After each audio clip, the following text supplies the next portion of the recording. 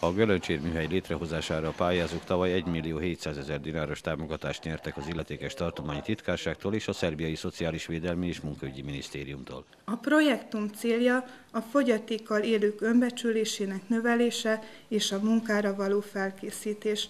A műhelyben minden délelőtt négy fiatal dolgozott, akik megismerkedtek az agyag megmunkálásával, egyszerű tárgykészítési technikákkal, megtanultak kitartóban és pontosabban dolgozni. Reméljük, hogy néhány év múlva megteremtődnek a feltételek ahhoz, hogy ők is egyenlő esélyekkel pályázhassanak meg munkahelyeket. A Nekem is van munkám nevű projektum idejére hat munkanélkülűnek biztosítottak állást, valamint bevonták az általános iskolásokat és óvodásokat is. A pályázat ideje alatt több mint 700 iskolás, illetve óvodás vett részt foglalkozásainkon. A foglalkozásokat keramikusaink és védenceink együtt tartották.